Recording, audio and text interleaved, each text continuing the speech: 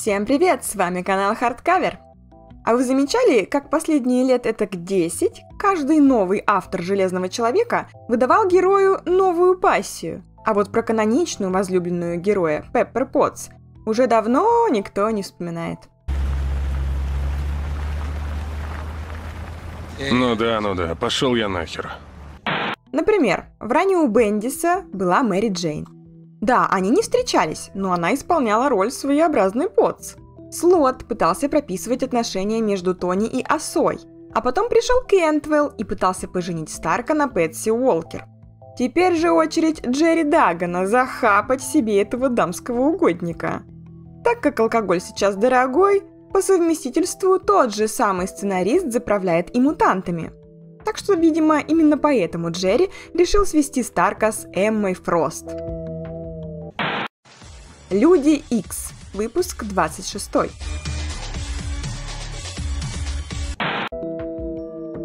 Начнем с небольшой предыстории.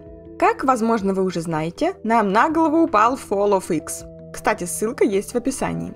Мутанты вновь проиграли. Небольшая горстка выживших пытается отомстить Орхис. Среди мутантов также затесался и Уилсон Фиск, бывший Кингпин и мэр. Он надеялся провести остаток дней со своей женой, тифозной Мэри, на райском острове, но Крако опала. Более того, у него забрали жену, поэтому Фиск также измазался в этой истории. Эмма решает, что более безопасным вариантом для нее будет уйти в тень. Ее считают либо погибшей, либо взятой в плен.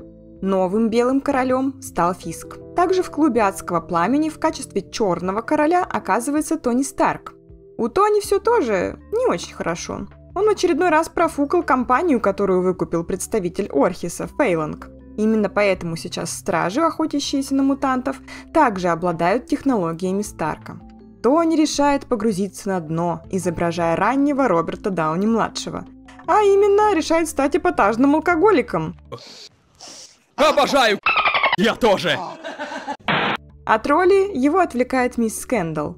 Хейзел, она же альтер-эго Эммы Фрост, предупреждает Старка, что его крот Ворхис в виде Файрстар находится в опасности, потому что мутант-убийца уже на пути к ней. И да, подмечу, мы с вами обсуждаем историю зарождения любви Тони и Эммы.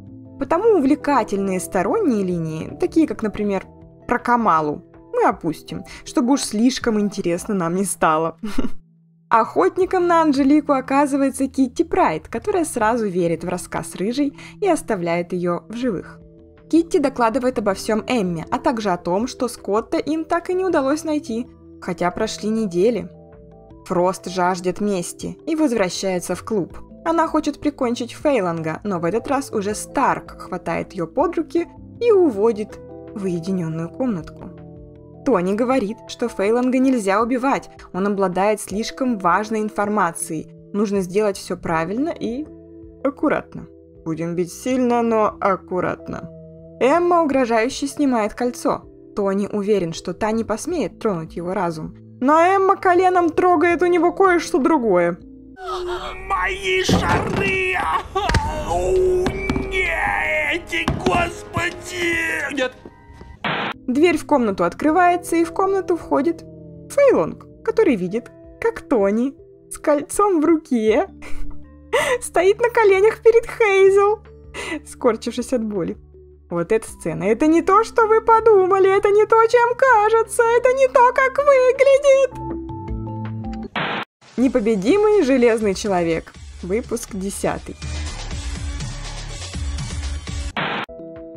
А теперь посмотрим на эту историю со стороны Старка. Ой, у меня ощущение, как будто я играю в один из ранних резидентов. Там тоже есть сценарии за разных героев. Красава, мужик, наш пацан. В общем, его хоуми-братан Роуди оказался в тюрячке. Благодаря связям Тони удается незаметно поговорить по телефону с заключенным и предупредить его об опасности. На Роудса нападают другие заключенные, но тут уже его подстраховал Уилсон Фиск. Он нанял песочного человека и живого Лазера, чтобы те защитили Джеймса. Фейланг получает уведомление о провале покушения. Та-дам! Провал покушения. Тут же нам показывают флешбэк, что именно Эмма свела Фиска и Старка.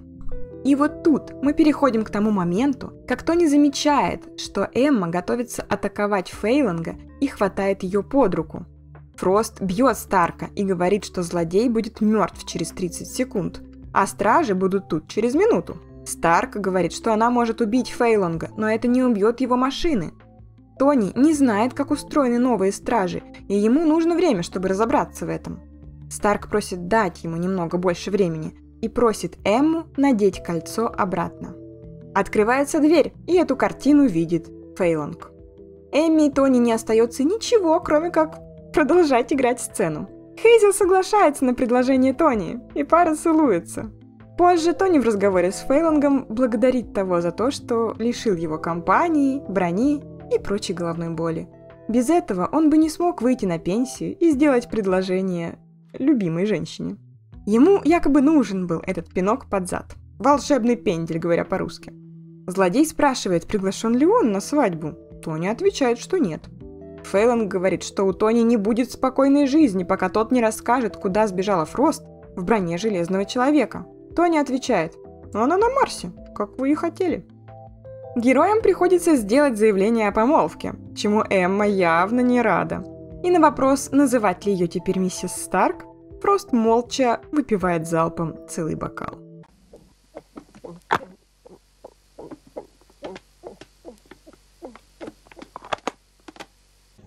Далее по плану парочка отправляется в Лас-Вегас. Тони отмечает, что по факту штамп в паспорте получит только он, ведь Кендалл Хейзел – лишь ее прикрытие, которое она сможет выкинуть в любой момент.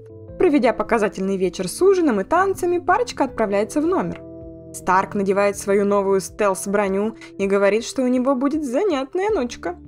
Эмма отвечает, что у нее тоже есть дела, и если завтра она не придет в часовню, то она либо мертва, либо даже фейково не готова выходить за него замуж. Тони понимает, что его новая броня не поможет им выиграть войну, поэтому придется украсть кое-какие технологии.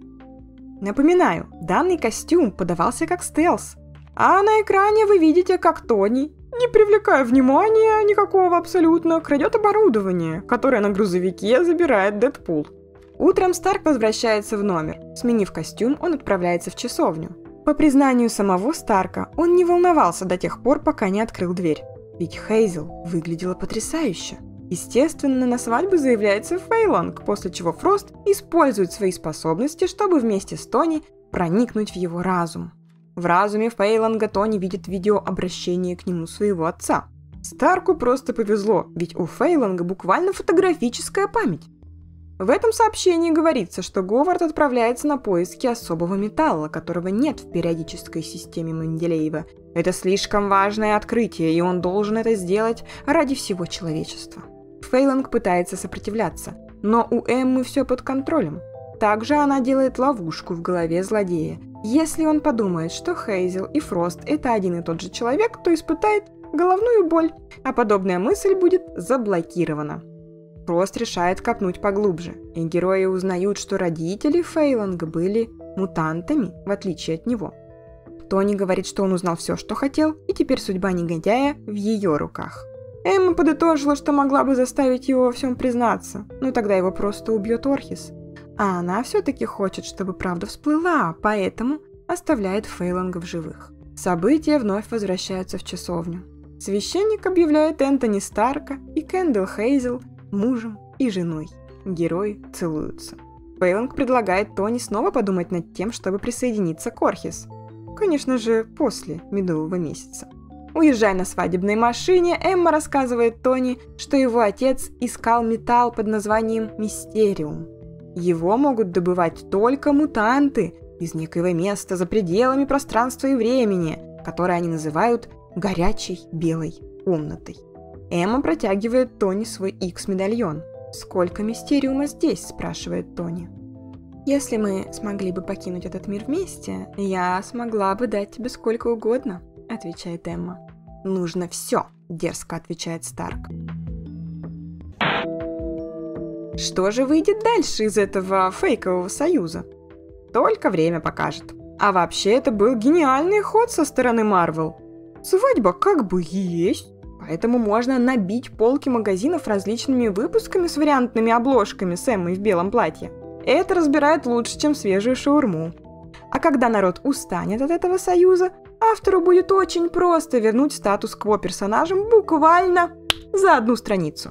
Просто стратегический союз им более не выгоден, и они расстаются, вот и все, не надо там отношения прописывать. И все довольны, пополняются как кошельки боссов издательства, так и полки коллекционеров. И волки сыты, и овцы целы.